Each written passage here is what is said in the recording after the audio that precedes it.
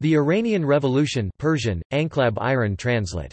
Enqlab-e-Iran, also known as the Islamic Revolution or the 1979 Revolution was a series of events involving the overthrow of the 2,500 years of continuous Persian monarchy under Mohammad Reza Shah Pahlavi, who was supported by the United States, and eventual replacement with an Islamic republic under the Grand Ayatollah Ruhollah Khomeini, the leader of the revolution, supported by various leftist and Islamist organizations and student movements. Demonstrations against the Shah commenced in October 1977, developing into a campaign of civil resistance that included both secular and religious elements and which intensified in January 1978. Between August and December 1978, strikes and demonstrations paralyzed the country. The Shah left Iran for exile on 16 January 1979, as the last Persian monarch, leaving his duties to a regency council and Shapur Bakhtiar who was an opposition-based prime minister. Ayatollah Khomeini was invited back to Iran by the government, and returned to Tehran to a greeting by several million Iranians. The royal reign collapsed shortly after on the 11th of February when guerrillas and rebel troops overwhelmed troops loyal to the Shah in armed street fighting, bringing Khomeini to official power. Iran voted by national referendum to become an Islamic republic on 1 April 1979 and to formulate and approve a new theocratic republican constitution whereby Khomeini became supreme leader of the country in December 1979. The revolution was unusual for the surprise it created throughout the world, it lacked many of the customary causes of revolution defeat at war, a financial crisis, peasant rebellion, or disgruntled military, occurred in a nation that was experiencing relative prosperity, produced profound change at great speed, was massively popular, resulted in the exile of many Iranians, and replaced a pro-Western authoritarian monarchy with an anti-Western authoritarian theocracy based on the concept of guardianship of the Islamic jurists or velayat faqih. It was a relatively nonviolent revolution, and it helped to redefine the meaning and practice of modern revolutions although there was violence in its aftermath. Background Reasons advanced for the occurrence of the revolution and its populist, nationalist and, later, Shia Islamic character include a conservative backlash against the westernizing and secularizing efforts of the Western-backed Shah, a rise in expectations created by the 1973 oil revenue windfall and an overly ambitious economic program, anger over a short, sharp economic contraction in 1977–78, and other shortcomings of the previous regime. The Shah's regime became increasingly oppressive, brutal, corrupt, and extravagant. It also suffered from basic functional failures that brought economic bottlenecks, shortages, and inflation. The Shah was perceived by many as beholden to, if not a puppet of, a non-Muslim Western power the United States whose culture was affecting that of Iran. At the same time, support for the Shah may have waned among Western politicians and media, especially under the administration of U.S. President Jimmy Carter, as a result of the Shah's support for OPEC petroleum price increases earlier in the decade. When President Carter enacted a human rights policy which said countries guilty of human rights violations would be deprived of American arms or aid, this helped give some Iranians the courage to post open letters and petitions in the hope that the repression by the government might subside.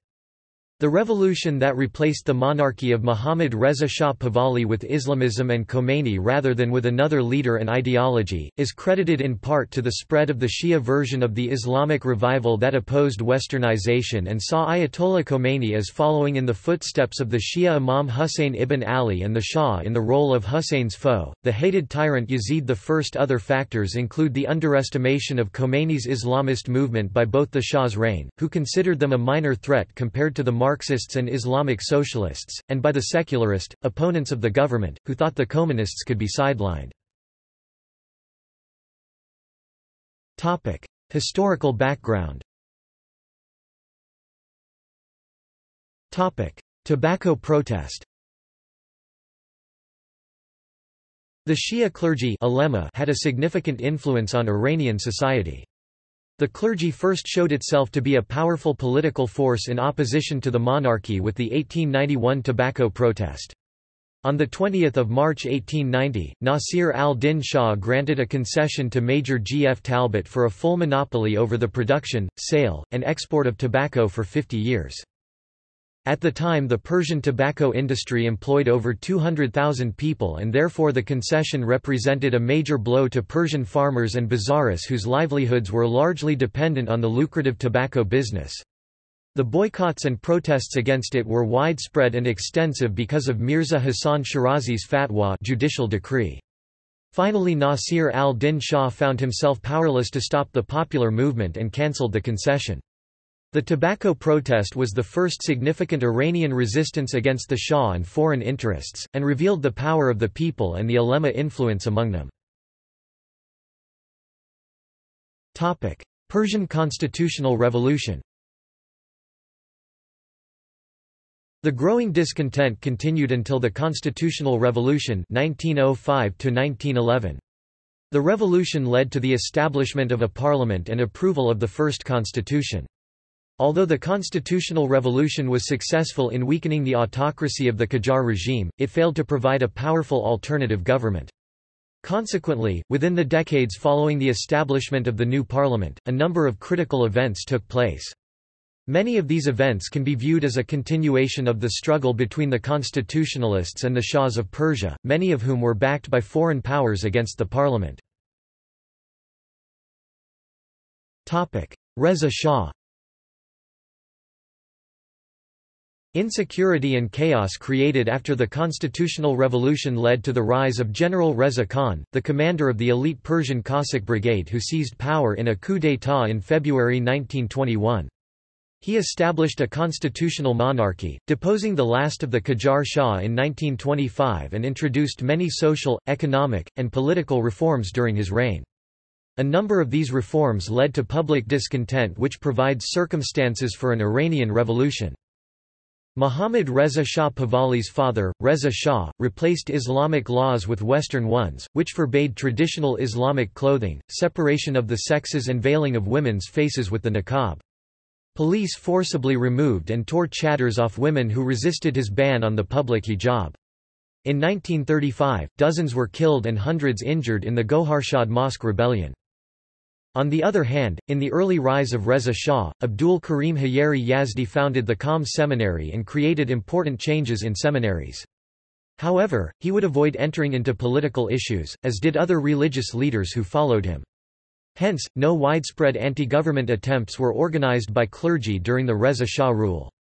However, the future Ayatollah Khomeini was a student of Sheikh Abdul Karim Haeri. Mossadegh and the Anglo-Iranian Oil Company today BP.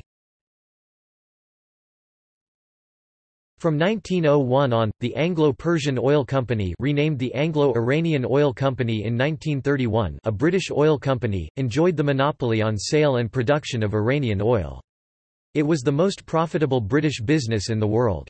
Most Iranians lived in poverty while the wealth generated from Iranian oil played a decisive role in maintaining Britain at the top of the world.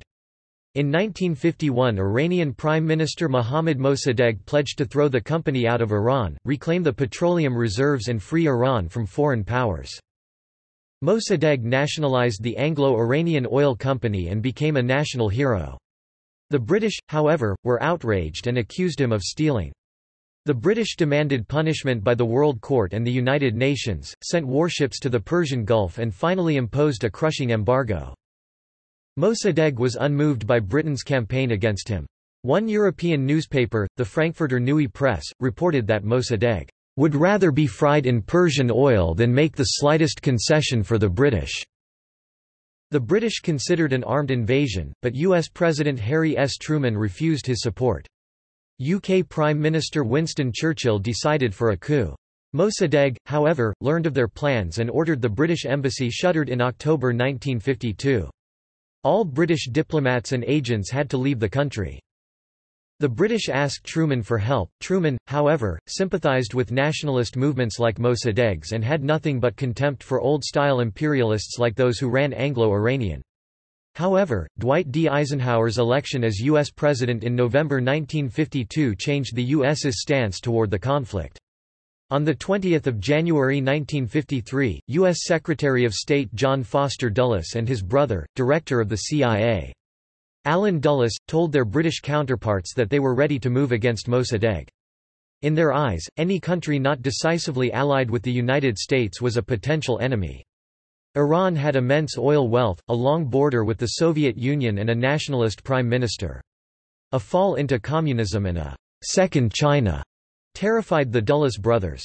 Operation Ajax was born, deposing the only democratic government Iran ever had. 1953 Iranian coup d'état In 1941 Reza Shah was deposed and his son, Mohammad Reza Pahlavi, was installed by an invasion of Allied British and Soviet troops. In 1953, foreign powers American and British again came to the Shah's aid. After the young Shah fled the country to Italy, the British MI6 aided an American CIA operative in organizing a military coup d'état to oust the nationalist and democratically elected Prime Minister Mohammad Mossadegh. Mohammad Reza Shah Pahlavi, who was the son of Reza Shah, maintained a close relationship with the U.S. government, both regimes sharing an opposition to the expansion of the Soviet Union, Iran's powerful northern neighbor. Like his father's government, the Shah's was known for its autocracy, its focus on modernization and westernization and for its disregard for religious and democratic measures in Iran's constitution.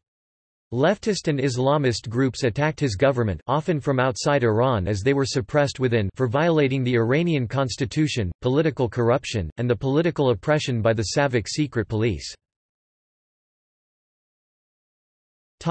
White Revolution The White Revolution was a far-reaching series of reforms in Iran launched in 1963 by Shah Mohammad Reza Pahlavi and lasted until 1978. Mohammad Reza Shah's reform program was built especially to weaken those classes that supported the traditional system.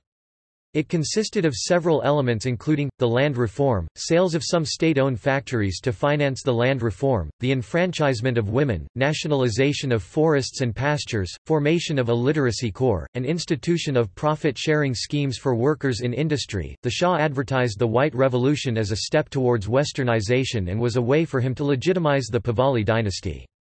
Part of the reason for launching the White Revolution was that the Shah hoped to get rid of the landlord's influence and create a new base of support among the peasants and working class, thus the White Revolution in Iran represented a new attempt to introduce reform from above and preserve traditional power patterns.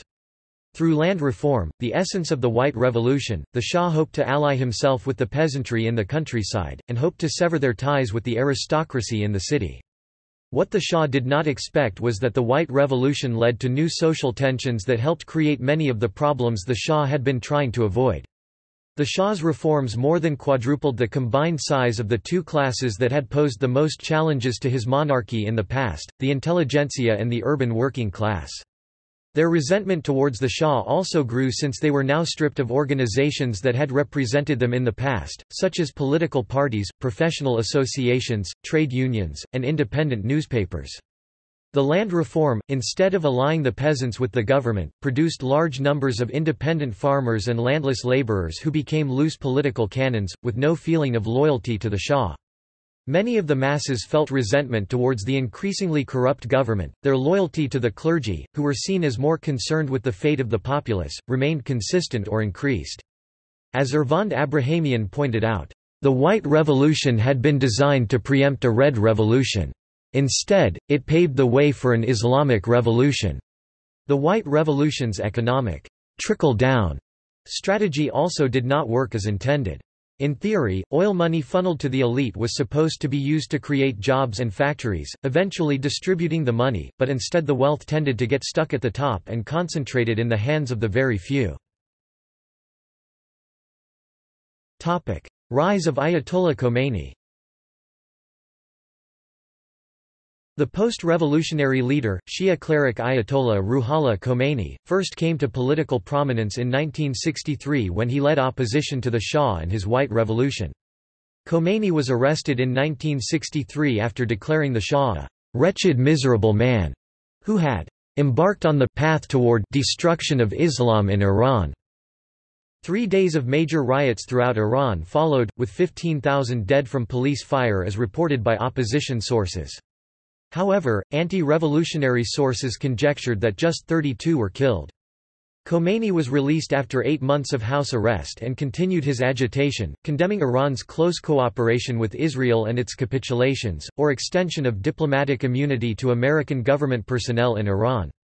In November 1964 Khomeini was re-arrested and sent into exile where he remained for 15 years, until the revolution. Ideology of the Iranian Revolution In this interim period of disaffected calm, the budding Iranian revival began to undermine the idea of westernization as progress that was the basis of the Shah's secular reign, and to form the ideology of the 1979 revolution. Jalal al-e Ahmad's idea of gharbzadegi, that Western culture was a plague or an intoxication to be eliminated, Ali Shariati's vision of Islam as the one true liberator of the Third World from oppressive colonialism, neo-colonialism, and capitalism, and Morteza Motahhari's popularized retellings of the Shia faith, all spread and gained listeners, readers and supporters. Most importantly, Khomeini preached that revolt, and especially martyrdom, against injustice and tyranny was part of Shia Islam, and that Muslims should reject the influence of both liberal capitalism and communism, ideas that inspired the revolutionary slogan, "'Neither East, nor West, Islamic Republic'". Away from public view, Khomeini developed the ideology of velayat-e-faqih guardianship of the jurist as government, that Muslims, in fact everyone, required guardianship in the form of rule or supervision by the leading Islamic jurist or jurists. Such rule was ultimately more necessary even than prayer and fasting. In Islam, as it would protect Islam from deviation from traditional sharia law and in so doing eliminate poverty, injustice, and the plundering of Muslim land by foreign non-believers, this idea of rule by Islamic jurists was spread through his book Islamic Government, Mosque Sermons, smuggled cassette speeches by Khomeini, among Khomeini's opposition network of students Talaba, ex-students able clerics such as Morteza Motahhari, Muhammad Beheshti, Muhammad Javad Bahonar, Akbar Hashemi Rafsanjani and Muhammad Mofatteh, and traditional businessmen inside Iran. Topic. Opposition groups and organizations Other opposition groups included constitutionalist liberals, the Democratic, Reformist Islamic Freedom Movement of Iran, headed by Mehdi Bazargan, and the more secular National Front. They were based in the urban middle class, and wanted the Shah to adhere to the Iranian constitution of 1906 rather than to replace him with a theocracy, but lacked the cohesion and organization of Khomeini's forces. Marxist groups, primarily the Communist Tudeh Party of Iran and the Fedayeen guerrillas, had been weakened considerably by government repression. Despite this the guerrillas did help play an important part in the final February 1979 overthrow, delivering the regime its coup de grace the most powerful guerrilla group, the People's Mujahedin, was leftist Islamist and opposed the influence of the clergy as reactionary. Some important clergy did not follow Khomeini's lead. Popular Ayatollah Mahmoud Taleghani supported the left, while perhaps the most senior and influential Ayatollah in Iran, Muhammad Kazim Shariatmadari, first remained aloof from politics and then came out in support of a democratic revolution. Khomeini worked to unite this opposition behind him except for the unwanted atheistic Marxists focusing on the socio-economic problems of the Shah's government corruption and unequal income and development, while avoiding specifics among the public that might divide the factions, particularly his plan for clerical rule which he believed most Iranians had become prejudiced against as a result of propaganda campaign by Western imperialists. In the post-Shah era, some revolutionaries who clashed with his theocracy and were suppressed by his movement complained of deception, but in the meantime anti-Shah unity was maintained. 1970 Several events in the 1970s set the stage for the 1979 revolution. The 1971 2500th anniversary of the founding of the Persian Empire at Persepolis, organized by the government, was attacked for its extravagance. As the foreigners reveled on drink forbidden by Islam, Iranians were not only excluded from the festivities, some were starving. Five years later the Shah angered pious Iranian Muslims by changing the first year of the Iranian solar calendar from the Islamic Hijri to the ascension to the throne by Cyrus the Great. Iran jumped overnight from the Muslim year 1355 to the royalist year 2535. The oil boom of the 1970s produced alarming increase in inflation, waste and an accelerating gap between the rich and poor, the city and the country, along with the presence of tens of thousands of unpopular skilled foreign workers. Many Iranians were also angered by the fact that the Shah's family was the foremost beneficiary of the income generated by oil, and the line between state earnings and family earnings blurred. By 1976, the Shah had accumulated upward of $1 billion from oil revenue. His family, including 63 princes and princesses, had accumulated between $5 and $20 billion, and the family foundation controlled approximately $3 billion by mid 1977. Economic austerity measures to fight inflation disproportionately affected the thousands of poor and unskilled male migrants to the city's working construction. Culturally and religiously conservative, many went on to form the core of the revolution's demonstrators and martyrs. All Iranians were required to join and pay dues to a new political party, the Hezb-e Rastakhiz party, all other parties being banned. That party's attempt to fight inflation with populist, anti-profiteering campaigns, fining and jailing merchants for high prices, angered and politicized merchants while fueling black markets. In 1977 the Shah responded to the polite reminder of the importance of political rights by the new American president, Jimmy Carter, by granting amnesty to some prisoners and allowing the Red Cross to visit prisons. Through 1977 liberal opposition formed organizations and issued open letters denouncing the government. Against this background a first crucial manifestation of public expression of social discontent and political protest against the regime took place in October 1977 when the German-Iranian Cultural Association in Tehran hosted a series of literature reading sessions, organized by the newly revived Iranian Writers Association and the German Goethe Institute. In these ten nights 57 of Iran's most prominent poets and writers read their works to thousands of listeners. They demanded the end of censorship and claimed the freedom of expression. That year also saw the death of the popular and influential modernist Islamist theorist Ali Shariati. This both angered his followers, who considered him a martyr at the hands of Savak, and removed a potential revolutionary rival to Khomeini. Finally, in October Khomeini's son Mustafa died of an alleged heart attack, his death also blamed on Savak. A subsequent memorial service for Mustafa in Tehran put Khomeini back in the spotlight. Topic: Revolution. Topic: Outbreak. By 1977, the Shah's policy of political liberalization was underway. Secular opponents of the Shah began to meet in secret to denounce the government, led by the leftist intellectual Saeed Soltanpour. The Iranian Writers Association met at the Goethe Institute in Tehran to read anti-government poetry. Ali Shariati's death in the United Kingdom shortly after led to another public demonstration, with the opposition accusing the Shah of murdering him although it was later ruled he died naturally of a heart attack. The chain of events began with the death of Mustafa Khomeini, chief aide and eldest son of Ruhollah Khomeini. He mysteriously died at midnight of 23 October 1977.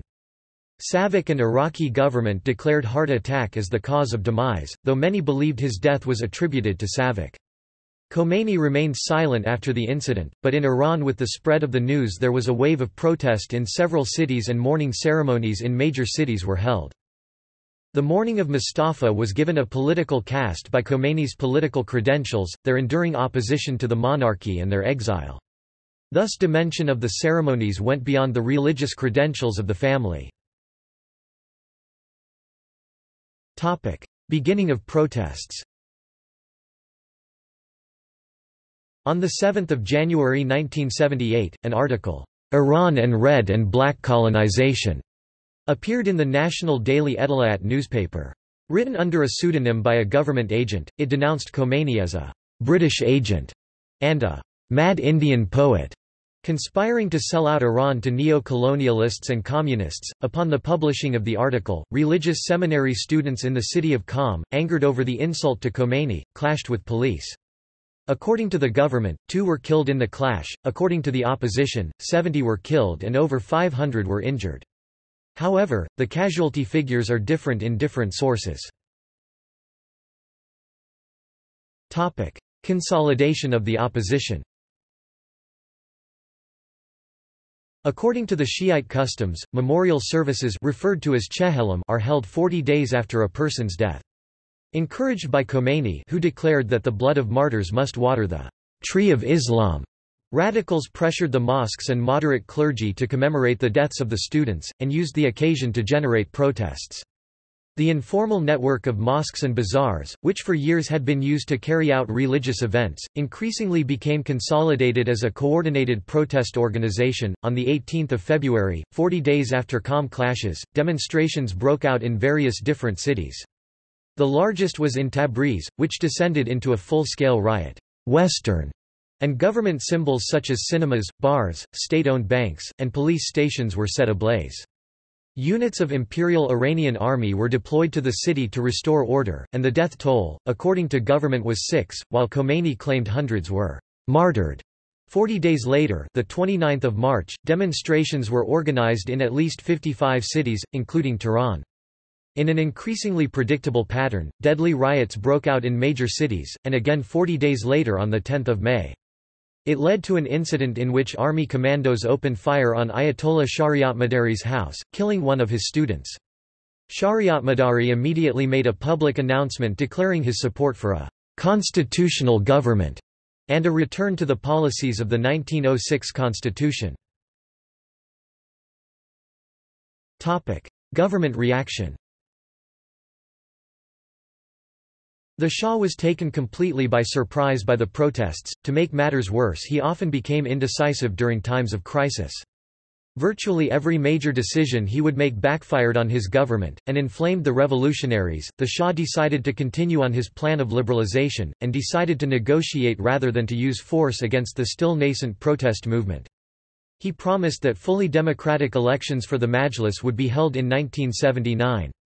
Censorship was relaxed, and a resolution was drafted to help reduce corruption within the royal family and the government. Protesters were tried in civilian courts rather than by military court-martials, and were quickly released. Iran's security forces had not received any riot control training nor equipment since 1963.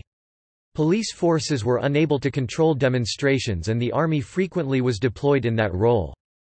Soldiers were instructed not to use deadly force, yet there were instances of inexperienced soldiers reacting excessively, inflaming the violence without cowing the opposition, and receiving official condemnation from the Shah. The Carter administration also refused to sell non lethal tear gas and rubber bullets to Iran. As early as the Tabriz riots in February, the Shah fired all the SAVAK officials in the city in a concession to the opposition, and soon began to dismiss civil servants and government officials whom he felt the public blamed.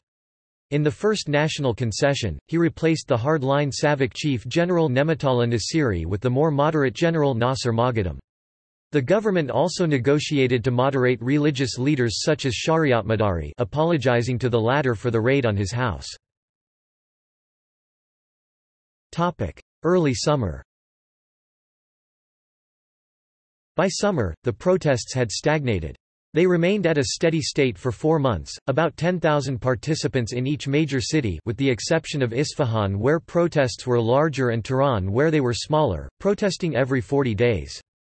This amounted to a small minority of the more than 15 million adults in Iran. Against the wishes of Khomeini, Shariatmadari called for the 17th of June morning protests to be carried out as a one-day stay. Although tensions remained in the air, the Shah's policy appeared to have worked, leading Amouzegar to declare that the crisis is over.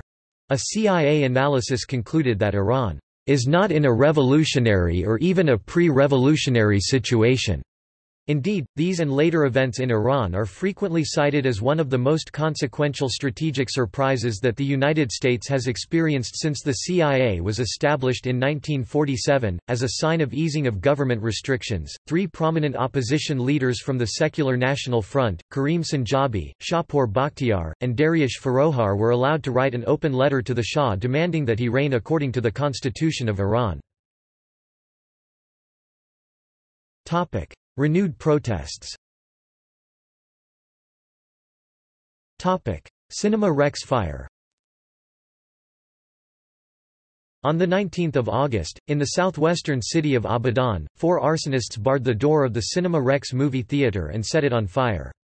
In what was the largest terrorist attack in history prior to the 11th of September 2001 attacks, 422 people inside the theater were burned to death. Khomeini immediately blamed the Shah and Savak for setting the fire. Due to the pervasive revolutionary atmosphere, the public also blamed the Shah for starting the fire, despite the government's insistence that they were uninvolved. Tens of thousands of people took to the streets shouting, "'Burn the Shah!' and "'The Shah is the guilty one!' After the revolution, many claimed that it was Islamist militants who had started the fire. After the Islamic Republic government executed a police officer for the act, a man claiming to be the lone surviving arsonist, claimed he was responsible to starting the fire. After forcing the resignation of the presiding judges in an attempt to hamper the investigation, the new government finally executed Hossein Talakzada for setting the fire on the Shah's orders. Despite his insistence he did it on his own accord as an ultimate sacrifice for the revolutionary cause. Appointment of Jafar Sharif Imami as Prime Minister By August, the protests had kick ed into high gear, and the number of demonstrators mushroomed to hundreds of thousands. In an attempt to dampen inflation the Amouzegar administration cut spending and reduced business, but the cutbacks led to a sharp rise in layoffs, particularly among young, unskilled, male workers living in the working-class districts. By summer 1978, the working class joined the street protests in massive numbers.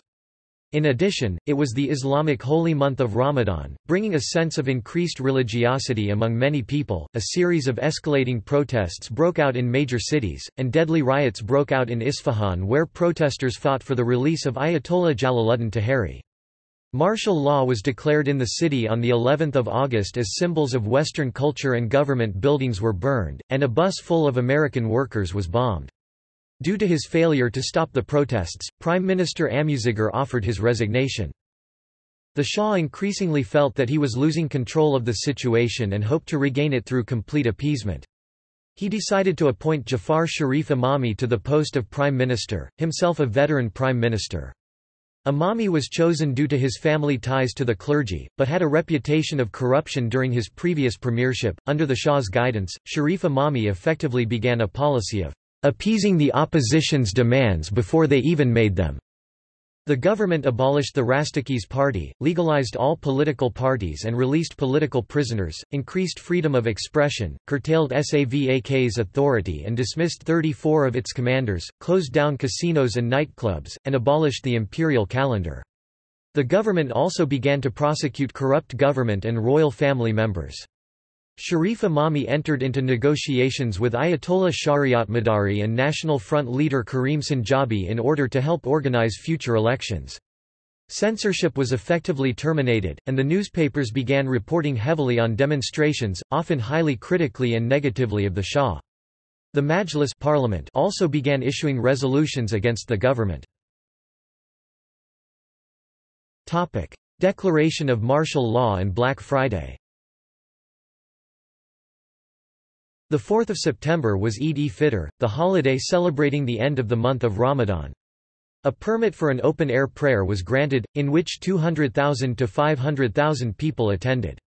Instead, the clergy directed the crowd on a large march through the center of Tehran the Shah reportedly watched the march from his helicopter, unnerved and confused. A few days later even larger protests took place, and for the first time protesters called for Khomeini's return and the establishment of an Islamic Republic. At midnight on 8 September, the Shah declared martial law in Tehran and 11 other major cities throughout the country. All street demonstrations were banned, and a nighttime curfew was established. Tehran's martial law commander was General Gholam Ali Ovaisi, who was known for his severity against opponents.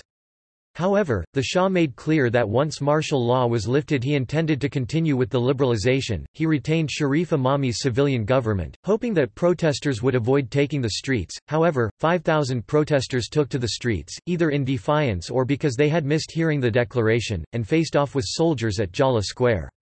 After the firing warning shots failed to disperse the crowd, troops fired directly into the mob, killing 64, while General Ovaisi claimed that 30 soldiers were killed by armed snipers in surrounding buildings.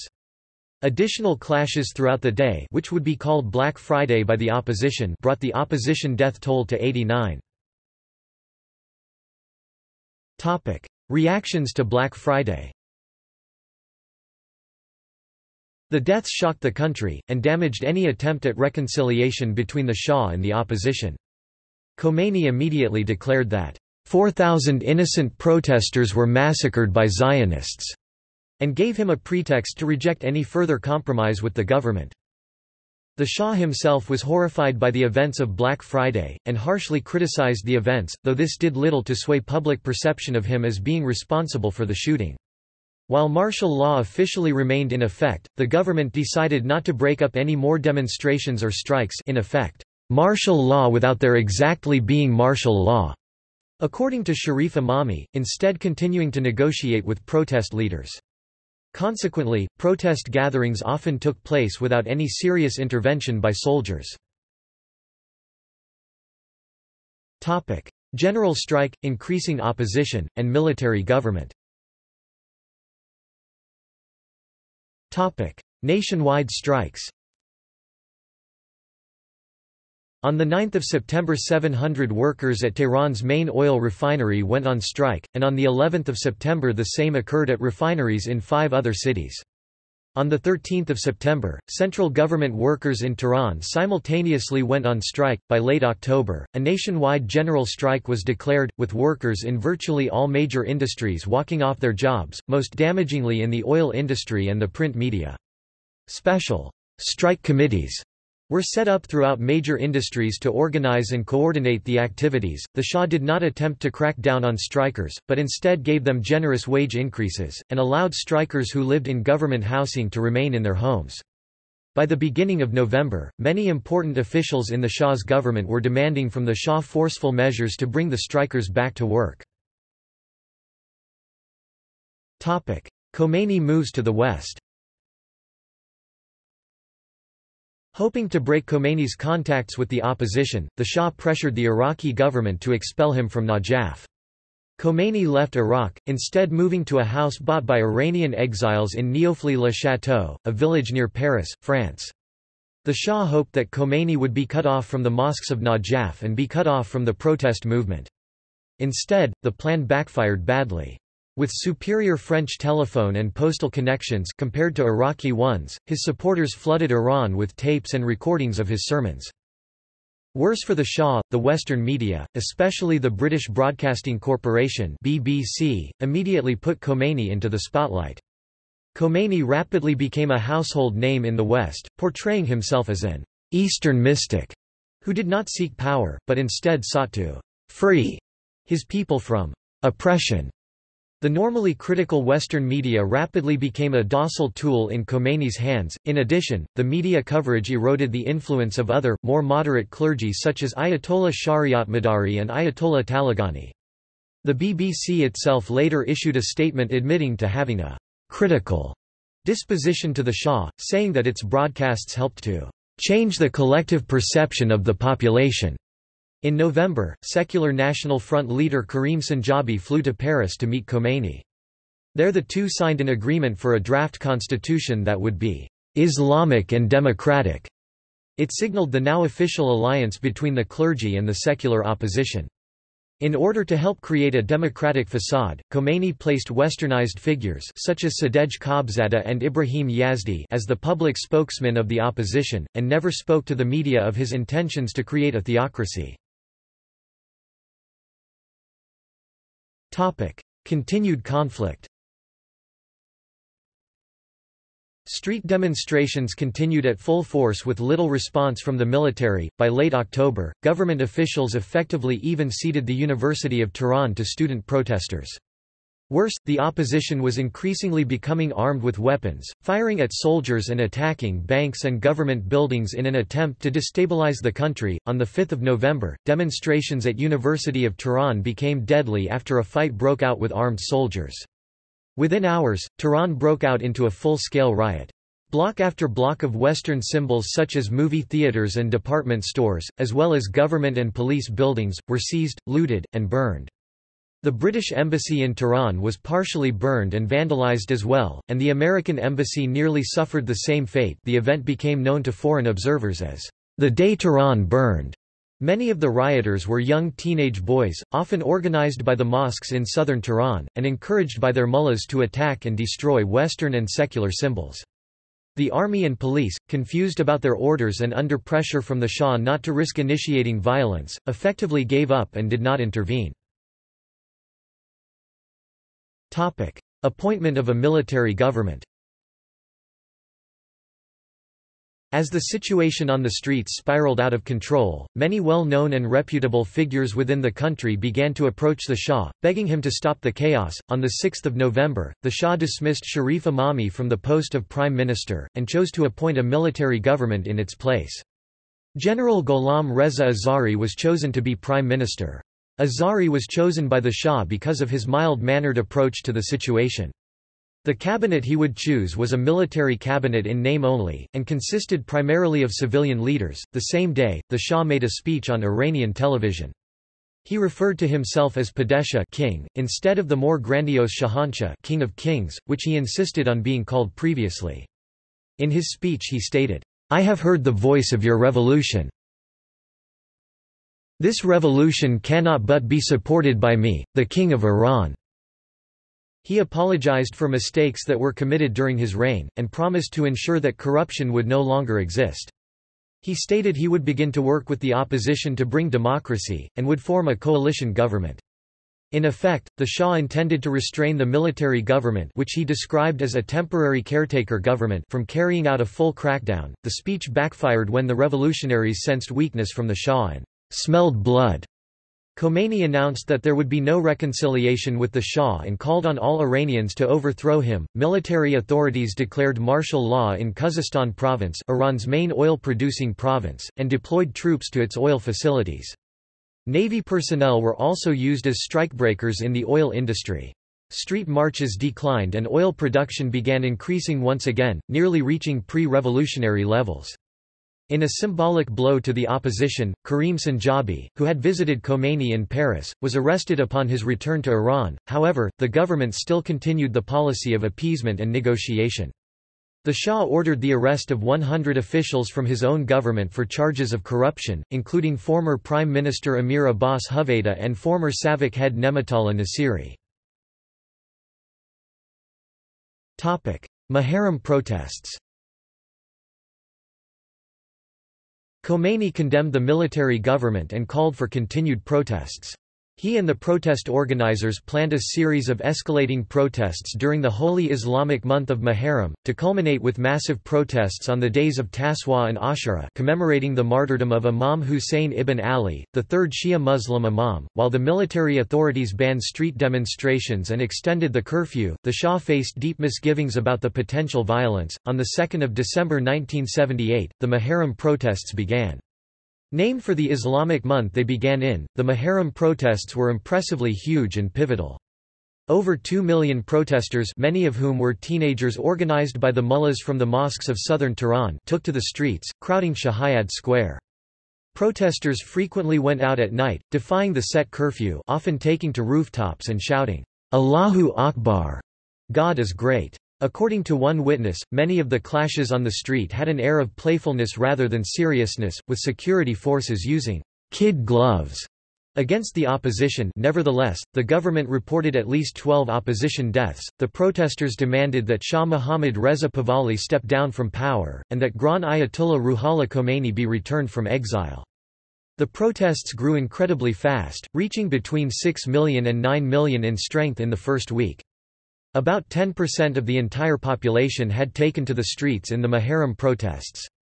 Both beginning and ending in the month of Muharram, the protests succeeded and Shah stepped down from power later in the month. After the success of what would become known as a revolution, Grand Ayatollah Ruhollah Khomeini returned to Iran as its religious and political leader for life. Khomeini had been an opposition leader to Shah for many years, rising to prominence after the death of his mentor, renowned scholar Yazdi Haeri, in the 1930s. Even in his years in exile, Khomeini remained relevant in Iran. Supporting the protests from beyond Iran's borders, he proclaimed that, "...freedom and liberation from the bonds of imperialism," was imminent. Taswa and Ashura marches As the days of Taswa and Ashura 10 and the 11th of December approached, in order to prevent a deadly showdown the Shah began to draw back. In negotiations with Ayatollah Shariatmadari, the Shah ordered the release of 120 political prisoners and Karim Sanjabi, and on 8 December revoked the ban on street demonstrations. Permits were issued for the marchers, and troops were removed from the procession's path. In turn, Shariatmadari pledged that to make sure that there would be no violence during the demonstrations, on 10 and the 11th of December, the days of Taswa and Ashura, between 6 and 9 million anti-Shah demonstrators marched throughout Iran. According to one historian, even discounting for exaggeration, these figures may represent the largest protest event in history. The marches were led by Ayatollah Taleghani and National Front leader Karim Sanjabi, thus symbolizing the unity of the secular and religious opposition. The mullahs and bazaar merchants effectively policed the gathering, and protesters who attempted to initiate violence were restrained. More than 10% of the country marched in anti-Shah demonstrations on December 10 and 11, 1978, possibly a higher percentage than any previous revolution. It is rare for a revolution to involve as much as 1% of a country's population. The French, Russian, and Romanian revolutions may have passed the 1% mark. Topic: The Shah's exile and Khomeini's return Much of Iranian society was in euphoria about the coming revolution. Secular and leftist politicians piled onto the movement hoping to gain power in the aftermath, ignoring the fact that Khomeini was the very antithesis to all of the positions they supported. While it was increasingly clear to more secular Iranians that Khomeini was not a liberal, he was widely perceived as a figurehead, and that power would eventually be handed to the secular groups. Demoralization of the army The military leadership was increasingly paralyzed by indecision, and rank-and-file soldiers were demoralized, having been forced to confront demonstrators while prohibited from using their own weapons and being condemned by the Shah if they did. Increasingly, Khomeini called on the soldiers of the armed forces to defect to the opposition. Revolutionaries gave flowers and civilian clothes to deserters, while threatening retribution to those who stayed. On the 11th of December, a dozen officers were shot dead by their own troops at Tehran's Lavizan barracks. Fearing further mutinies, many soldiers were returned to their barracks. Mashhad the second largest city in Iran was abandoned to the protesters, and in many provincial towns demonstrators were effectively in control. American and internal negotiations with the opposition The Carter administration increasingly became locked in a debate about continued support for the monarchy. As early as November, Ambassador William Sullivan sent a telegram to Carter the "'Thinking the Unthinkable' telegram. The telegram effectively declared his belief that the Shah would not survive the protests, and that the U.S. should consider withdrawing its support for his government and persuading the monarch to abdicate. The United States would then help assemble a coalition of pro-Western military officers, middle-class professionals, and moderate clergy, with Khomeini installed as a Gandhi-like spiritual leader. The telegram touched off a vigorous debate in the American cabinet, with some such as National Security Advisor Zbigniew Brzezinski rejecting it outright. Secretary of State Cyrus Vance rejected a military crackdown. He and his supporters believed in the moderate and progressive Intentions of Khomeini and his circle, increasing contact was established with the pro-Khomeini camp. Based on the revolutionaries' responses, some American officials especially Ambassador Sullivan felt that Khomeini was genuinely intent on creating a democracy. According to historian Abbas Milani, this resulted in the United States effectively helping to facilitate Khomeini's rise to power. The Shah began to search for a new prime minister, one who was a civilian and a member of the opposition. On 28 December, he secured an agreement with another major National Front figure, Shahpour Bakhtiar. Bakhtiar would be appointed prime minister a return to civilian rule, while the Shah and his family would leave the country for a «vacation». His royal duties would be carried out by a regency council, and three months after his departure a referendum would be submitted to the people deciding on whether Iran would remain a monarchy or become a republic. A former opponent of the Shah, Bakhtiar became motivated to join the government because he was increasingly aware of Khomeini's intentions to implement hard-line religious rule rather than a democracy. Karim Sanjabi immediately expelled Bakhtiar from the National Front, and Bakhtiar was denounced by Khomeini who declared that acceptance of his government was the equivalent of obedience to false gods. The Shah leaves The Shah, hoping to see Bakhtiar established, kept delaying his departure. Consequently, to the Iranian public, Bakhtiar was seen as the Shah's last prime minister. Undermining his support, American General Robert Huyser, the deputy commander of NATO, entered Iran. While the option of a pro-Shah military coup still was a possibility, Huyser met with military leaders but not the Shah, and established meetings between them and Khomeini allies, for the purpose of agreeing on Bakhtiar's transitional government. Ambassador Sullivan disagreed, and attempted to pressure Huyser to ignore the military and work directly with Khomeini's opposition. Nevertheless, Huyser won out and continued to work with both the military and opposition. He left Iran on 3 February. The Shah was privately embittered by Huyser's mission, and felt that the United States no longer wanted him in power. On the morning of 16 January 1979, Bakhtiar was officially appointed Prime Minister. The same day, a tearful Shah and his family left Iran for exile in Egypt, never to return. Bakhtiar's premiership and Khomeini's return When news of the Shah's departure was announced, there were spontaneous scenes of joy throughout the country. Millions poured onto the streets, virtually every remaining sign of the monarchy was torn down by the crowds. Bakhtiar dissolved SAVAK and freed all remaining political prisoners.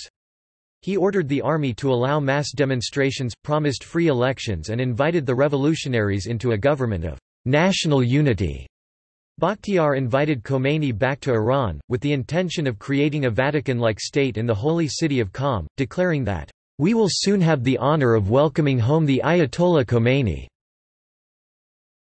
On 1 February 1979 Khomeini returned to Tehran in a chartered Air France Boeing 747. The welcoming crowd of several million Iranians was so large he was forced to take a helicopter after the car he was being transported in from the airport was overwhelmed by an enthusiastic welcoming crowd. Khomeini was now not only the undisputed leader of the revolution, he had become what some called a semi-divine figure, greeted as he descended from his airplane with cries of Khomeini, O Imam, we salute you, peace be upon you. Crowds were now known to chant, Islam, Islam, Khomeini, we will follow you, and even Khomeini for king. When asked by a reporter how he felt returning to his home country after a long exile, Khomeini replied, nothing. On the day of his arrival Khomeini made clear his rejection of Bakhtiar's government in a speech promising, I shall kick their teeth in. I appoint the government, I appoint the government in support of this nation." On 5 February at his headquarters in the Rafah School in southern Tehran, he declared a provisional revolutionary government, and appointed opposition leader Mehdi Bazargan from the religious nationalist freedom movement, affiliated with the National Front, as his own prime minister, and commanded Iranians to obey Bazargan as a religious duty t rue the guardianship velayat that I have from the holy lawgiver the prophet, I hereby pronounce Bazargan as the ruler, and since I have appointed him, he must be obeyed.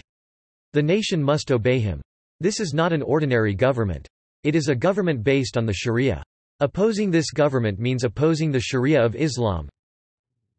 Revolt against God's government is a revolt against God. Revolt against God is blasphemy.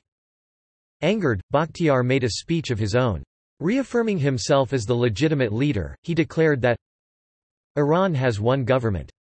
More than this is intolerable, either for me or for you or for any other Iranian. As a Muslim, I had not heard that jihad refers to one Muslim against other Muslims. I will not give permission to Ayatollah Khomeini to form an interim government. In life there comes a time when one must stand firm and say no. I have never seen a book about an Islamic republic, neither has anyone else for that matter. Some of the people surrounding the Ayatollah are like violent vultures. The clergy should go to Qom and build a wall around themselves and create their own Vatican. Armed battles and collapse of the monarchy Tensions between the two rival governments increased rapidly. To demonstrate his support, Khomeini called for demonstrators to occupy the streets throughout the country. He also sent a letter to American officials warning them to withdraw support for Bakhtiar. Bakhtiar became increasingly isolated, with members of the government including the entire Regency Council defecting to Khomeini.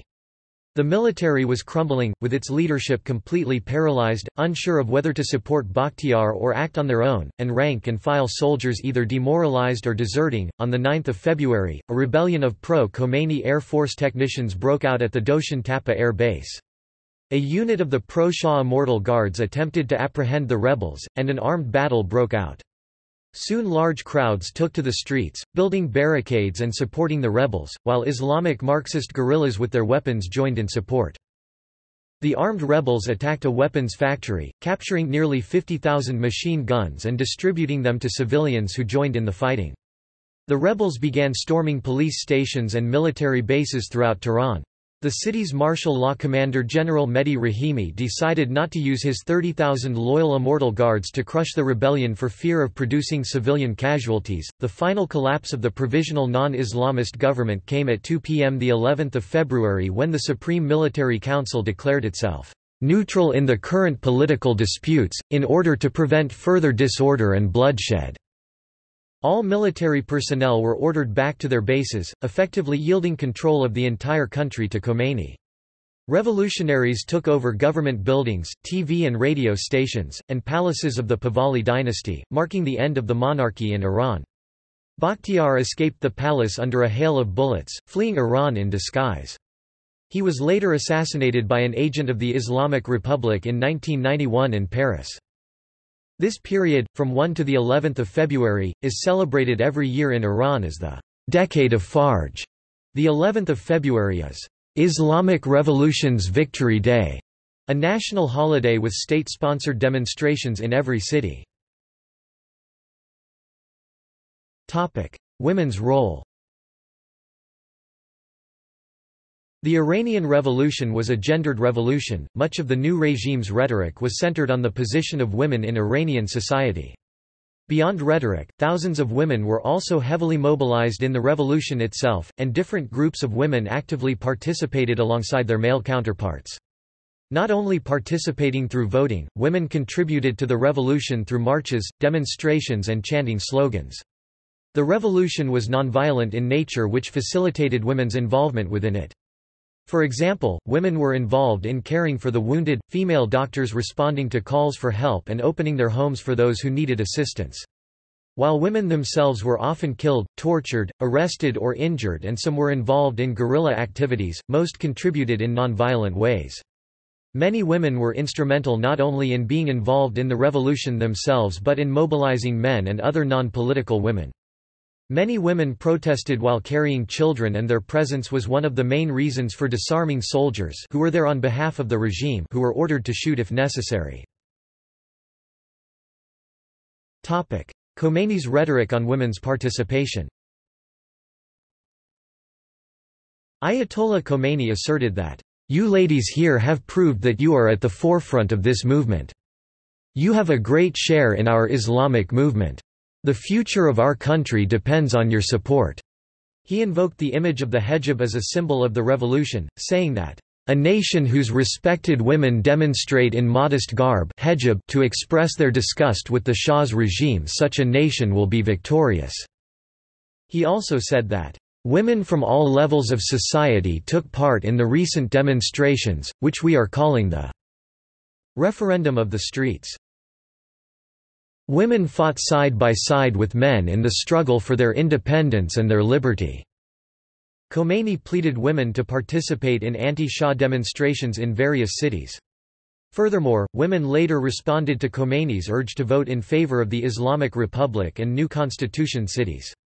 Women were so pivotal to the revolution that in response to a suggestion from a top aide to ban women from coming to group audience, Khomeini said, I threw the Shah out with these women, there's no problem in their coming."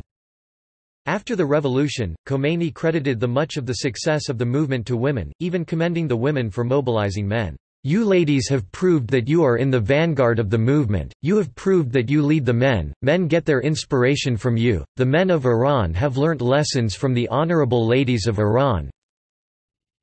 You are in the vanguard of the movement. It has been argued that Khomeini and his fellow leaders danced around the issue of women's rights and rather focused their rhetoric on mobilizing women through encouraging them to participate in protests and fueling their anti-Shah sentiments. Variation within women's participation The contributions of women to the revolutions and the intentions behind these contributions are complex and layered. The motivations of women for being part of the revolutions were complex and varied among a plethora of religious, political and economic reasons and women participating were from various classes and backgrounds. Many Western-educated upper-middle-class women from secular, urban and professional families were involved as well as many women from working-class and rural backgrounds. There were groups as varied as the Fidayeen-i Khalq and the Mujahedin were functioning as guerrilla units during the revolutions in opposition to the Shah's regime. There were also other groups of women with various agendas that sometimes converged and sometimes diverged from the Islamic Republic's political positions. For example, organized feminism which was around since the Pahlavi dynasty, joined the revolutionary movement after the Shah dropped the cabinet position on women's affairs to appease the Islamists. Members of the Women's Organization of Iran marched in support for the revolution and it was important that women very much linked to the government also turned against the Shah's regime. Yet, there were later some tension between feminists' dress and the revolution's stance on women's clothing and they began to feel uncomfortable at opposition events. Some argue that this politicization and mobilization of women made it difficult for the new regime to push them out of the public and political spheres. The revolution resulted in an unprecedented opening for Iranian women into politics mostly through demonstrations and voting, and some authors argue that this had a lasting impact on Iranian women's political participation and role in the public sphere. Some women were also part of the inner circle of the leaders of the new regime such as Marzieh Hadidchi. Other than the politicization of women, there were particular circumstances during the revolution which pushed women into being involved with politics. For example, the combination of martial law with its curfew hours and the closing down of shops and workplaces, together with the cold of the fall and winter months resulted in the centers of political discussion often being within the home. Women engaged with news and media as well as political discussions alongside their male counterparts as the revolution was the only topic of interest to anyone, regardless of age or sex. During 1978 and 1979 there many gatherings in women's homes where they exchanged interpersonal news and anecdotes. These personal accounts were valuable in a time where the official coverage of news was not trusted by many people. Women who were activists, religious women, and women dissatisfied with the regime were able to unite under the anti Shah umbrella. However, it's important to note that Women were not united in their opinions of the revolution and its outcome as much as they were not united in their reasons for joining the revolution. Despite this mobilization and high-rate participation of women, they were still kept out of leadership positions which were exclusive to men. Women are thought to be part of the rank and file rather than the elite strata of the revolution. Topic: Academic literature on women's participation. While there has been some academic literature exploring individual narratives of women on the revolution, most of the academic work produced focuses on the effect of the revolution on women rather than the role of Iranian women during the revolution.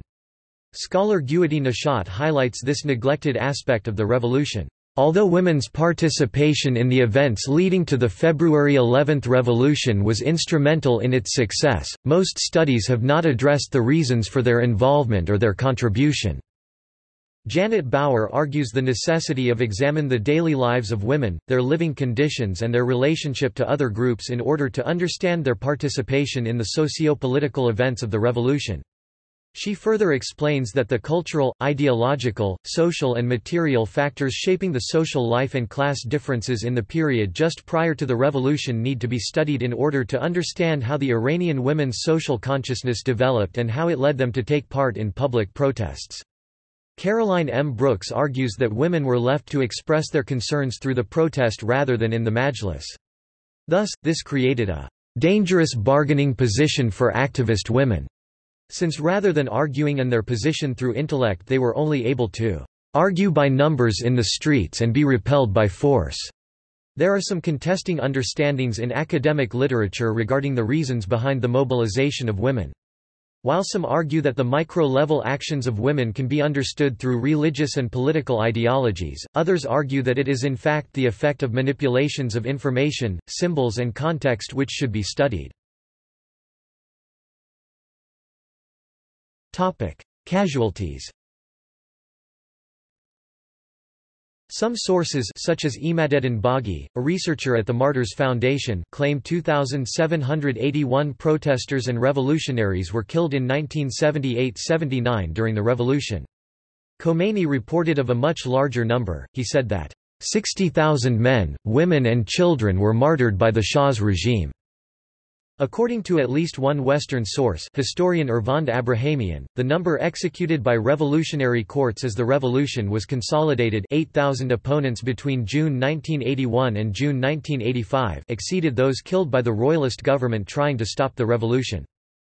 While Iranians believed the opposition's casualty figures, post-revolution Western and thus anti-revolution estimates mostly supported the defeated government's casualty figures. Songs of Iranian Revolution Iranian revolutionary songs are ballads epic that composed during the Islamic Revolution in Iran in support of the revolution and opposition the Pahlavi dynasty. Before the victory of revolution, these chants were made by various political supporters and many of them recorded on cassette tapes in underground and home studios. Many of the songs on the anniversary of the revolution were broadcast by Iranian state television. In schools, these songs were sung as part of the celebrations Fajr decades by students. Iran Iran, or Allah Allah chants are famous revolutionary songs.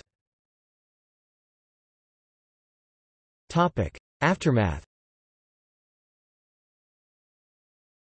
Topic: Consolidation of power by Khomeini.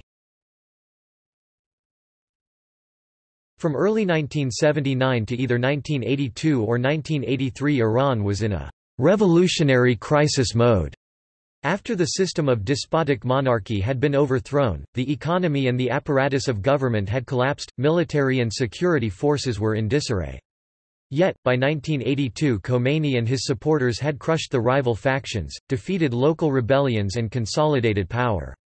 Events that made up both the crisis and its resolution were the Iran hostage crisis, the invasion of Iran by Saddam Hussein's Iraq, and the presidency of Abolhassan Banisadr. Topic: Conflicts among revolutionaries Some observers believe what began as an authentic and anti-dictatorial popular revolution based on a broad coalition of all anti-Shah forces was soon transformed into an Islamic fundamentalist power grab. That except for his core supporters, the members of the coalition thought Khomeini intended to be more a spiritual guide than a ruler. Khomeini being in his mid-70s, having never held public office, having been out of Iran for more than a decade, and having told questioners, "...the religious dignitaries do not want to rule."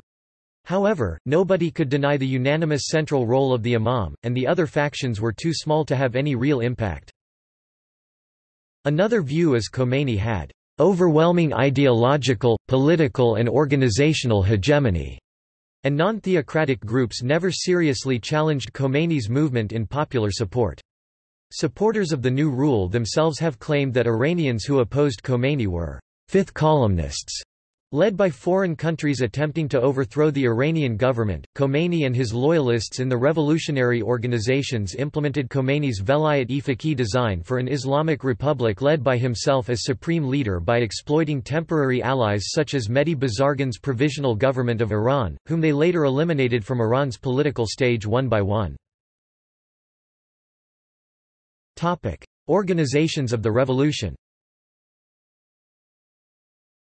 The most important bodies of the revolution were the Revolutionary Council, the Revolutionary Guards, Revolutionary Tribunals, Islamic Republican Party, and Revolutionary Committees comites. .While the moderate Bazargan and his government temporarily reassured the middle class, it became apparent they did not have power over the Khomeinist revolutionary bodies, particularly the Revolutionary Council the real power in the revolutionary state, and later the Islamic Republican Party.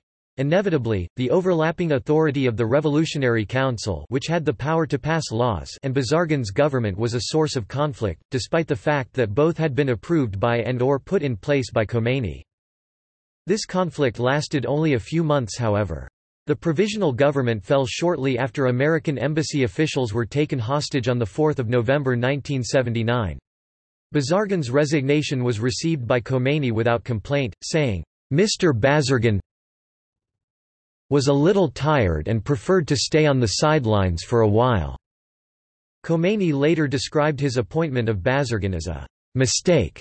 The Revolutionary Guard, or Pasdaran-e Enqelab, was established by Khomeini on 5 May 1979, as a counterweight both to the armed groups of the left, and to the Shah's military.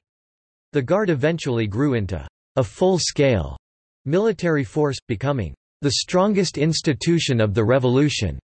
Serving under the Pasdaran were, are the Basij-e Mustazafin oppressed mobilization, volunteers in everything from earthquake emergency management to attacking opposition demonstrators and newspaper offices. The Islamic Republican Party then fought to establish a theocratic government by Velayat-e Faqih.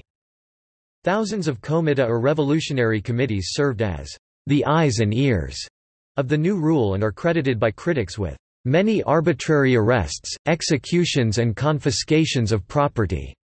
Also enforcing the will of the government were the Hezbollahi the Party of God, strong arm thugs, who attacked demonstrators and offices of newspapers critical of Khomeini. Two major political groups that formed after the fall of the Shah that clashed with and were eventually suppressed by pro-Khomeini groups, were the moderate religious Muslim People's Republican Party MPRP, which was associated with Grand Ayatollah Muhammad Kazim Shariatmadari, and the secular leftist National Democratic Front NDF. 1979 uprisings Following the events of the revolution, Marxist guerrillas and federalist parties revolted in some regions comprising Khuzestan, Kurdistan and Gonbad-e which resulted in fighting between them and revolutionary forces. These revolts began in April 1979 and lasted between several months to over a year, depending on the region. Establishment of Islamic Republic government Referendum of 12 Farvardin On 30 and 31 March Farvardin 10, 11, a referendum was held over whether to replace the monarchy with an Islamic Republic. Khomeini called for a massive turnout and only the National Democratic Front, Fadayan, and several Kurdish parties opposed the vote. The results showed that 98.2% had voted in favor of the Islamic Republic. Topic: Writing of the Constitution. In June 1979 the Freedom Movement released its draft constitution for the Islamic Republic that it had been working on since Khomeini was in exile. It included a guardian council to veto un-Islamic legislation, but had no guardian jurist ruler. Leftists found the draft too conservative and in need of major changes but Khomeini declared it correct to approve the new constitution and prevent leftist alterations, a relatively small 73-member Assembly of Experts for Constitution was elected that summer. Critics complained that, "...vote rigging, violence against undesirable candidates and the dissemination of false information," was used to produce an assembly overwhelmingly dominated by clergy, all took active roles during the revolution and loyal to Khomeini. Khomeini and the Assembly now rejected the constitution, its correctness notwithstanding, and Khomeini declared that the new government should be based 100% on Islam. In addition to the president, the new constitution included a more powerful post of guardian jurist ruler intended for Khomeini, with control of the military and security services, and power to appoint several top government and judicial officials. It increased the power and number of clerics on the Council of Guardians and gave it control over elections as well as laws passed by the legislature. The new constitution was also approved overwhelmingly by referendum, but with more opposition and smaller turnout. Hostage crisis Holding 52 American diplomats hostage for 444 days played a role in helping to pass the constitution, suppressing moderates, and otherwise radicalizing the revolution. In late October 1979, the exiled and dying Shah was admitted into the United States for cancer treatment. In Iran there was an immediate outcry and both Khomeini and leftist groups demanding the Shah's return to Iran for trial and execution. On 4 November 1979 youthful Islamists, calling themselves Muslim student followers of the Imam's line, invaded the embassy compound and seized its staff.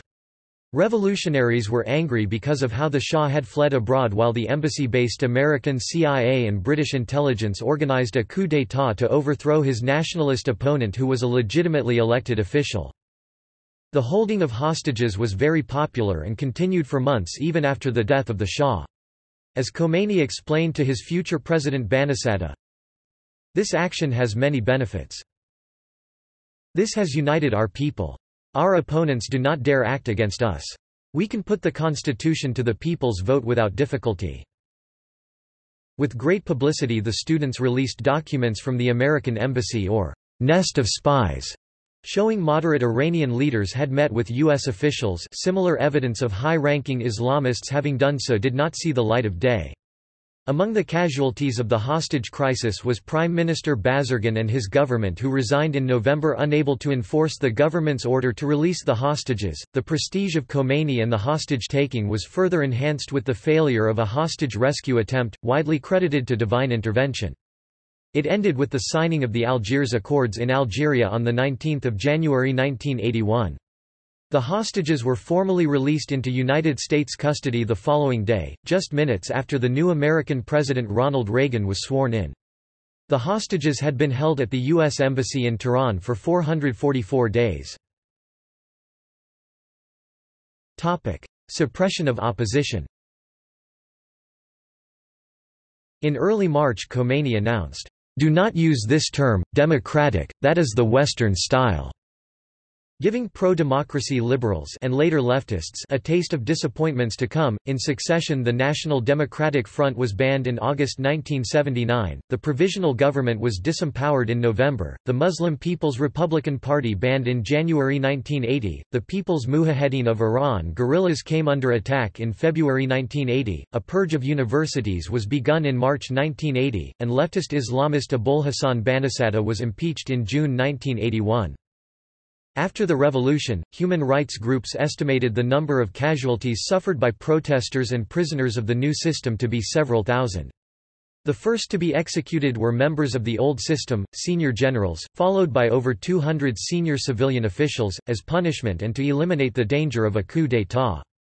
Brief trials lacking defense attorneys, juries, transparency or opportunity for the accused to defend themselves, were held by revolutionary judges such as Sadegh Khalkhali, the Sharia judge. By January 1980, at least 582 persons had been executed. Among those executed was Amir Abbas Hoveyda, former Prime Minister of Iran. Between January 1980 and June 1981, when Bani Sadr was impeached, at least 900 executions took place, for everything from drug and sexual offences to corruption on earth, from plotting counter-revolution and spying for Israel to membership in opposition groups. In the 12 months following that Amnesty International documented 2,946 executions, with several thousand more killed in the next two years according to the anti-government guerrillas People's Mujahedin of Iran. Newspaper closings in mid-August, shortly after the election of the Constitution Writing Assembly, several dozen newspapers and magazines opposing Khomeini's idea of theocratic rule by jurists were shut down. When protests were organized by the National Democratic Front NDF, Khomeini angrily denounced them saying, "'We thought we were dealing with human beings. It is evident we are not.' After each revolution several thousand of these corrupt elements are executed in public and burnt and the story is over. They are not allowed to publish newspapers. Hundreds were injured by rocks, clubs, chains and iron bars when Hezbollahi attacked the protesters, and shortly after, a warrant was issued for the arrest of the NDF's leader. Muslim People's Republican Party In December the moderate Islamic Party Muslim People's Republican Party MPRP, and its spiritual leader Muhammad Kazim Shariatmadari had become a rallying point for Iranians who wanted democracy not theocracy. Riots broke out in Shariatmadari's Azeri home region with members of the MPRP and Shariatmadari's followers seizing the Tabriz television station, and using it to broadcast demands and grievances. The regime reacted quickly, sending Revolutionary Guards to retake the TV station, mediators to defuse complaints and activists to stage a massive pro-Khomeini counter-demonstration. The party was suppressed and in 1982 Shariatmadari was demoted from the rank of Grand Ayatollah and many of his clerical followers purged. Islamist left in January 1980 Abolhassan Banisadr was elected president of Iran. Though an advisor to Khomeini, he was a leftist who clashed with another ally of Khomeini, the Theocratic Islamic Republic Party IRP, the controlling power in the new parliament. At the same time, erstwhile revolutionary allies of Khomeini, the Islamist modernist guerrilla group People's Mujahedin of Iran or MEK were being suppressed by Khomeini's revolutionary organizations. Khomeini attacked the MEK as monafiqin hypocrites and kafir unbelievers. Hezbollahi people attacked meeting places, bookstores, newsstands of mujahideen and other leftists driving them underground.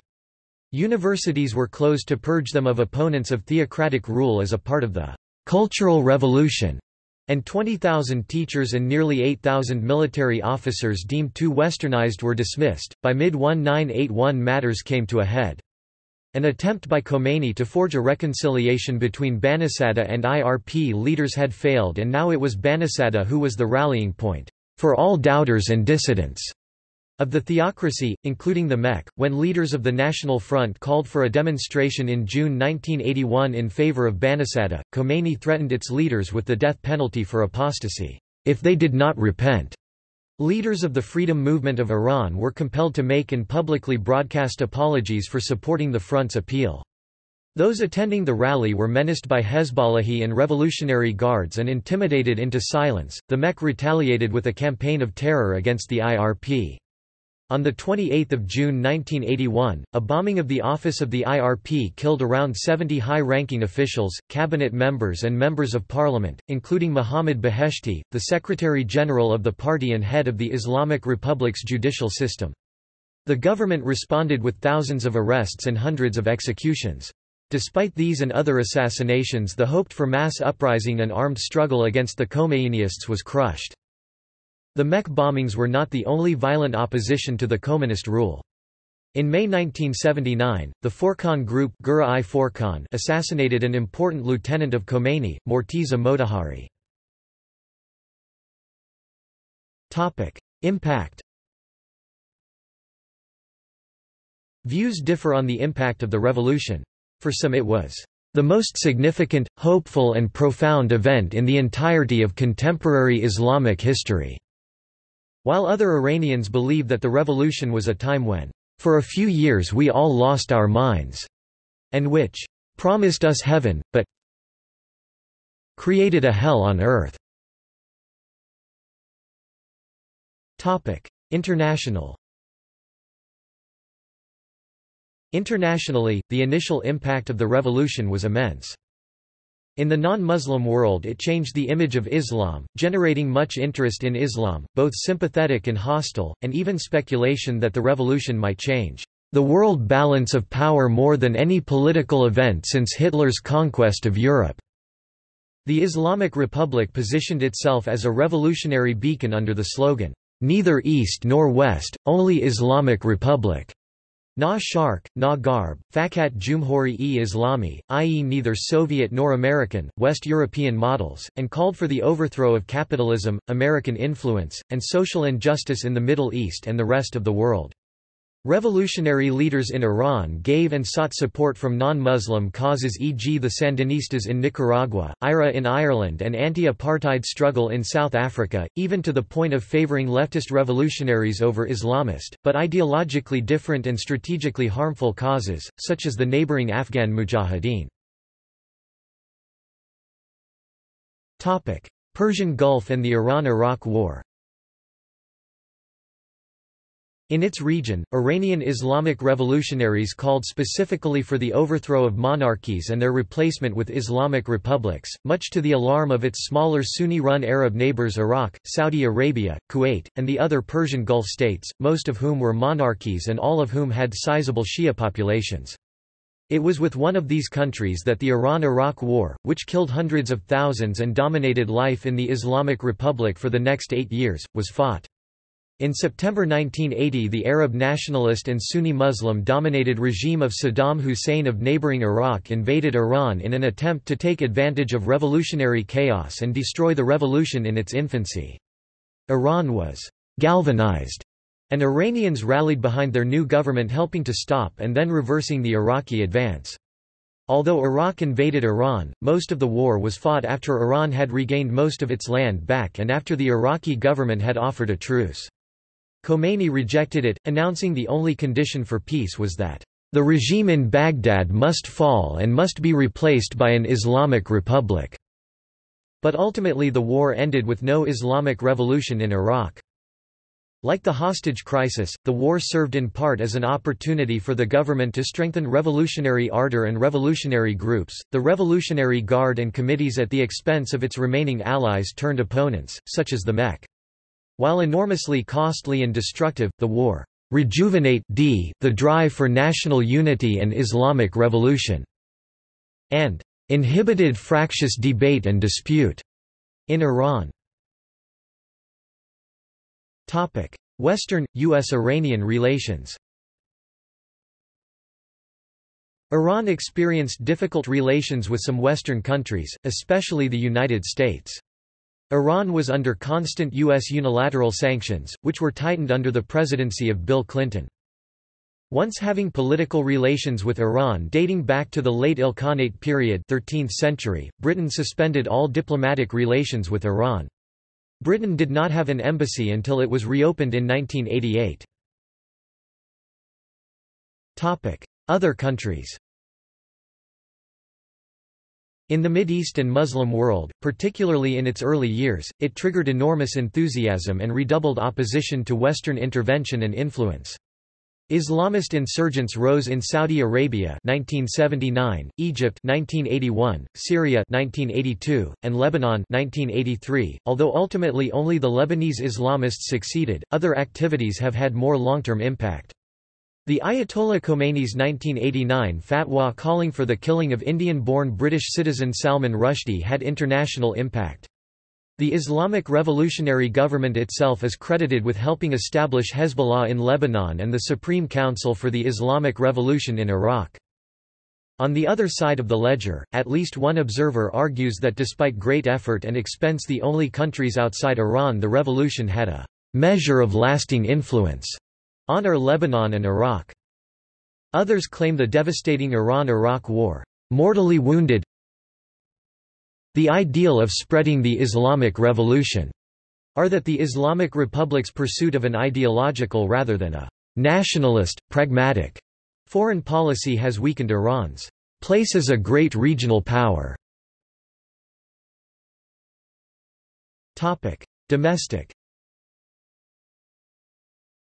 Internally, Iran has had some success in recent years in the broadening of education and health care for the poor, and particularly governmental promotion of Islam, and the elimination of secularism and American influence in government. Criticisms have been raised with regards to political freedom, governmental honesty and efficiency, economic equality and self-sufficiency, or even popular religious devotion.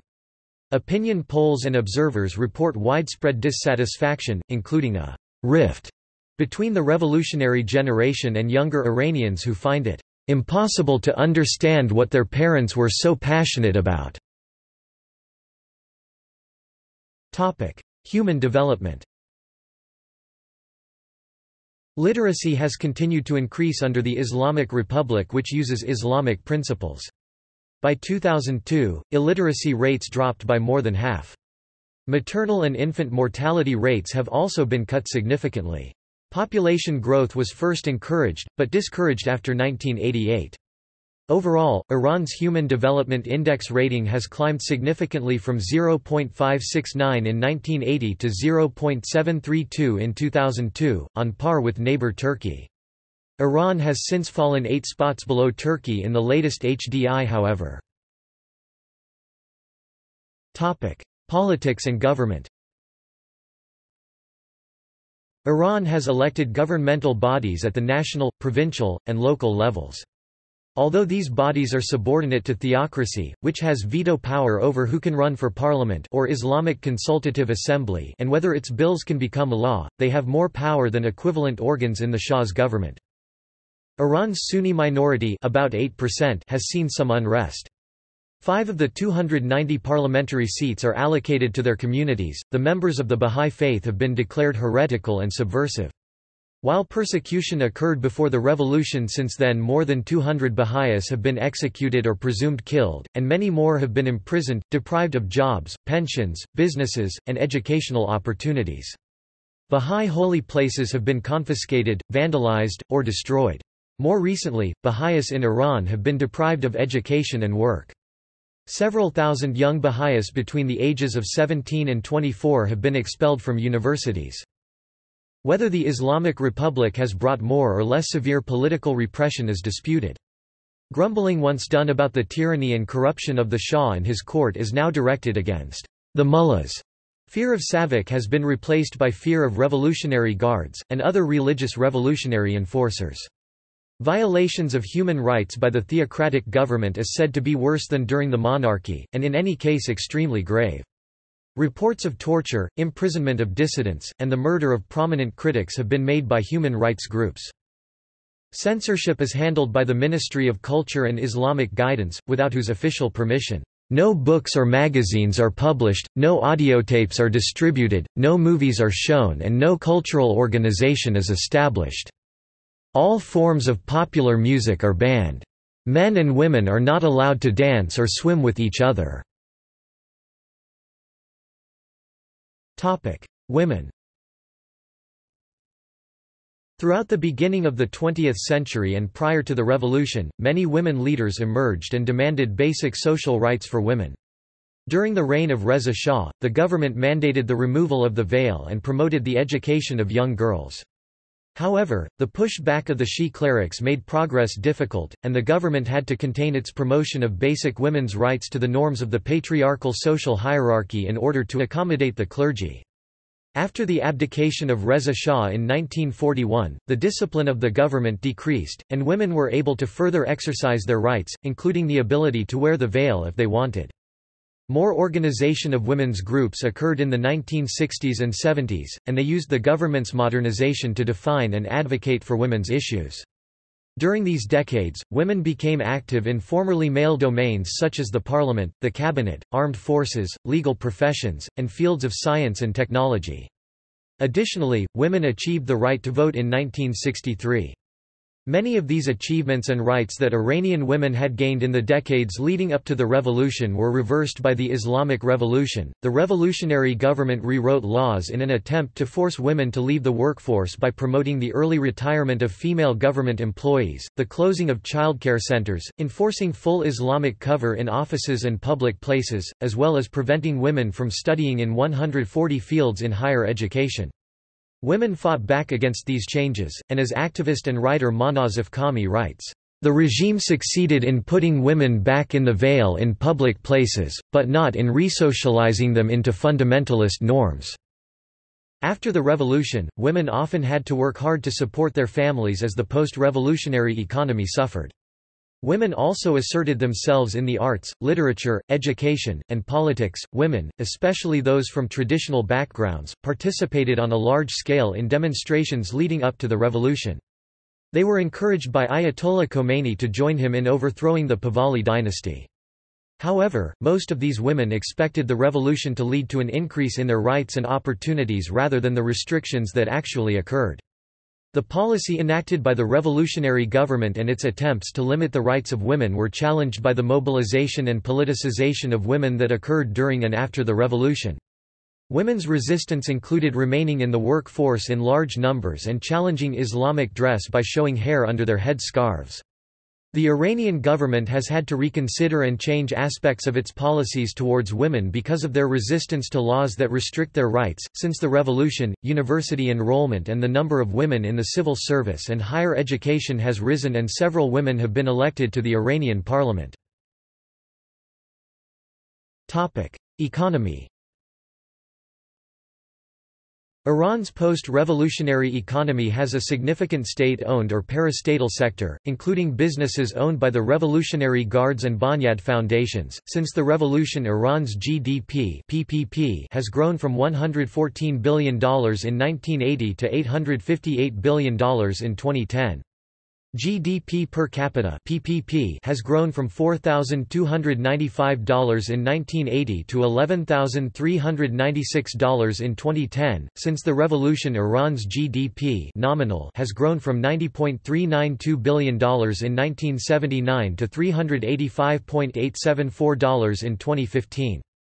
GDP per capita nominal has grown from $2,290 in 1979 to $5,470 in 2016.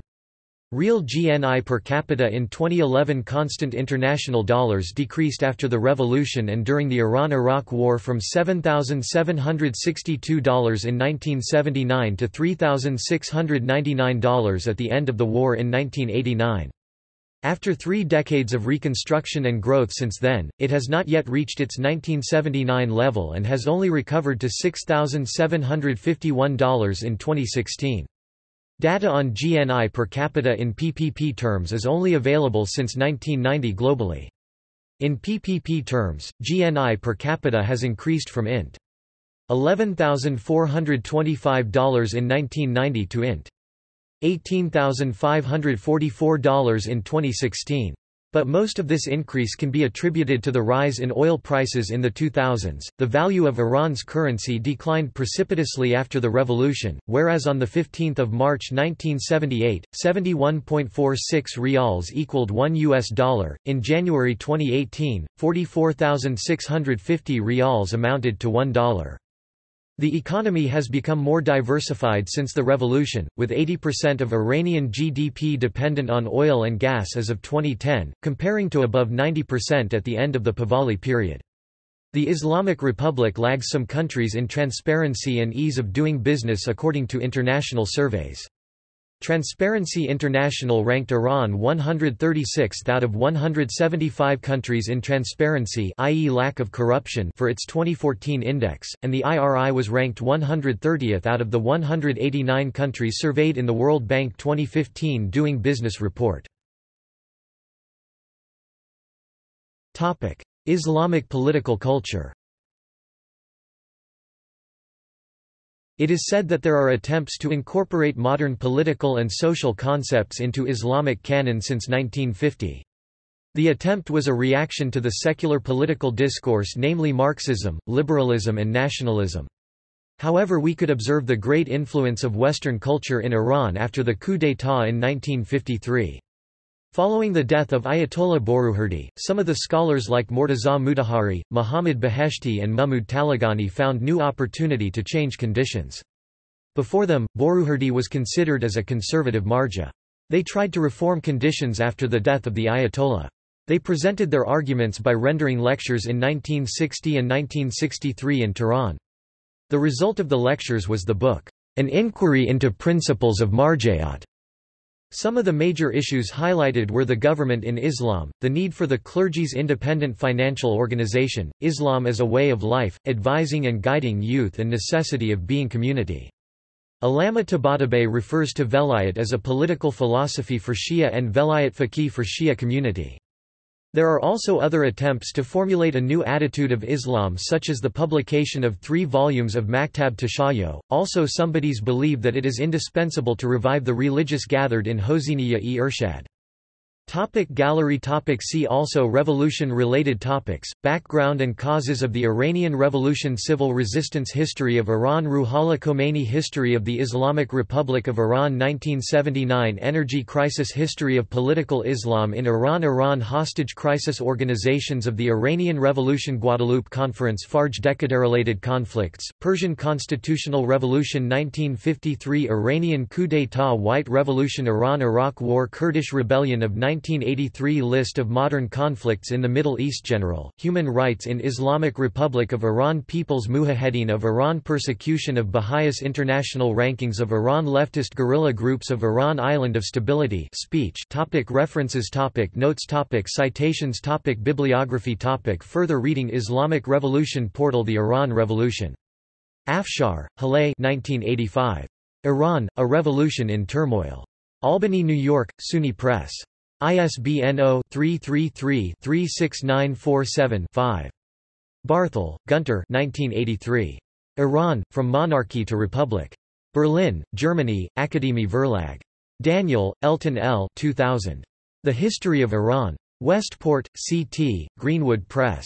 ISBN 0-313-30731-8. Esposito, John L. 1990. The Islamic Revolution, Its Global Impact. Miami, Florida, Florida International University Press. ISBN 0-8130-0998-7. Hiro, Dilip 1989. Iran, Revolutionary Fundamentalism in Power. Holy Wars, The Rise of Islamic Fundamentalism. New York, Routledge. ISBN 0-415-90208-8. Ryszard Kapuscinski. Shah of Shahs. Translated from Polish by William R. Brand and Katarzyna Mroczkowska Brand. New York, Vintage International, 1992. Khalili, Reza 2010. A Time to Betray, The Astonishing Double Life of a CIA Agent Inside the Revolutionary Guards of Iran. New York, Simon & Schuster. ISBN 978-1-4391-8903-0. Habib Ladjevardi editor, Memoirs of Shapur Bakhtiar, Harvard University Press, 1996. Kraft, Joseph. Letter from Iran, The New Yorker, Vol. Liv. No. 44, 18 December 1978. Legum, Colin, et al., eds. Middle East Contemporary Survey, Volume 3, 1978–79. New York, Holmes and Meier Publishers, 1980 plus asterisk Legum, Colin, et al., eds. Middle East Conte Milani, Abbas, The Persian Sphinx, Amir Abbas Hoveyda and the Riddle of the Islamic Revolution, Mage Publishers, 2000, ISBN 0-934211-61-2. Munson, Henry Jr. Islam and Revolution in the Middle East. New Haven, Yale University Press, 1988. Nafisi, Azar. Reading Lolita in Tehran, New York, Random House, 2003. Nobari, Ali Reza, ed. Iran Erupts, Independence, News and Analysis of the Iranian National Movement. Stanford, Iran-America Documentation Group, 1978. Nomani, Farhad and Sohrab Behdad, Class and Labor in Iran, Did the Revolution Matter? Syracuse University Press, 2006. ISBN 0-8156-3094-8 Pahlavi, Mohammad Reza, Response to History, Stein and Day Pub, 1980, ISBN 0-8128-2755-4. Rahnema, Saeed and Sohrab Behdad, eds. Iran After the Revolution, Crisis of an Islamic State. London, I.B. Tauris, 1995. Sick, Gary. All Fall Down, America's Tragic Encounter with Iran. New York, Penguin Books, 1986. Shawcross, William, The Shah's Last Ride, The Death of an Ally, Touchstone, 1989, ISBN 0-671-68745-X, Smith, Frank E. The Islamic Revolution, 1998. Society for Iranian Studies, Islamic Revolution in Perspective. Special Volume of Iranian Studies, 1980. Volume 13, Nos. 1 to 4, Time Magazine, the 7th of January 1980. Man of the Year Ayatollah Khomeini. U.S. Department of State, American Foreign Policy Basic Documents, 1977–1980. Washington, D.C., GPO, 1983. JX 1417A 561977-80 ref 6 7 pages on Iran. Yapp, M.E. The Near East Since the First World War, A History to 1995. London, Longman, 1996. Chapter 13, Iran, 1960–1989.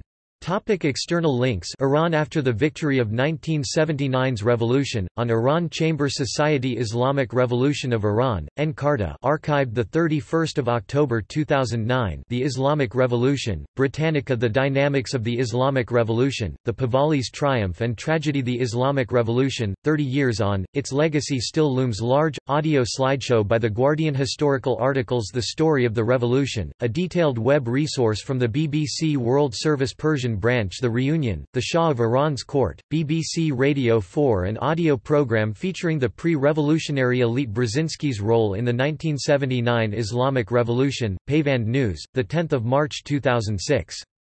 The Islamic Revolution. The Islamic Revolution. The Islamic Revolution, Internews, Analytical Articles Bernard Lewis, Islamic Revolution, The New York Review of Books the 21st of January 1988. Islamic Revolution, an exchange by Abbas Milani, with reply by Bernard Lewis What are the Iranians dreaming about? by Michel Foucault The Seductions of Islamism, Revisiting Foucault and the Islamic Revolution by Janet Afary and Kevin B. Anderson, New Politics, Volume 10, No. 1, Whole No. 37 Summer 2004. Moojan Momen, The Religious Background of the 1979 Revolution in Iran. The Islamic Revolution by Ted Grant, In Defense of Marxism website, International Marxist Tendency Friday 9 February 1979 Class Analysis of the Islamic Revolution of 1979 by Satya J. Gabriel The Cause of the Islamic Revolution by John Kerm History of Undefeated, A Few Words in Commemoration of the 1979 Revolution by Mansour Hekmat, Communist Thinker and Revolutionary Revolution and Counter-Revolution in Iran by HKS, Iranian Socialist Workers' Party and Pictures and Videos Iran, Revolution and Beyond, slideshow by Life magazine Iran Revolution. Com by Akbar Nazemi Islamic Revolution, photos by Kaveh Golestan Photos from Kaveh Kazemi. The Islamic Revolution in Pictures. Islamic Revolution in Pictures, BBC World. Slideshow with audio commentary of the legacy of Islamic Revolution after 30 years. Pictures of Ayatollah Ruhollah Khomeini after the revolution, Shah and wife in Morocco. Documentary, Anatomy of a Revolution Night After the Revolution English version videos 33rd anniversary of Iran Islamic Revolution Press TV 2012